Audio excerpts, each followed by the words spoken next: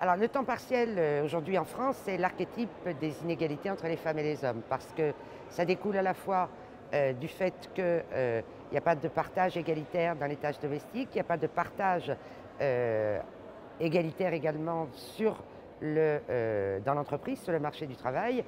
Et donc, ceci produit beaucoup d'inégalités, d'autant que les secteurs qui aujourd'hui sont porteurs d'emplois à temps partiel ce sont euh, les secteurs tertiaires où les femmes sont majoritaires. Donc, dans la plupart des cas, le temps partiel n'est pas un temps partiel choisi, mais un temps partiel contraint par les offres d'emploi.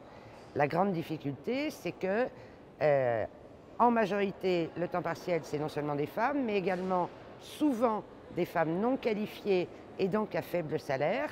Et la conséquence, c'est que euh, peu d'heures de travail, travail non qualifié, faible salaire, eh bien c'est porteur de précarité c'est porteur de pauvreté en emploi.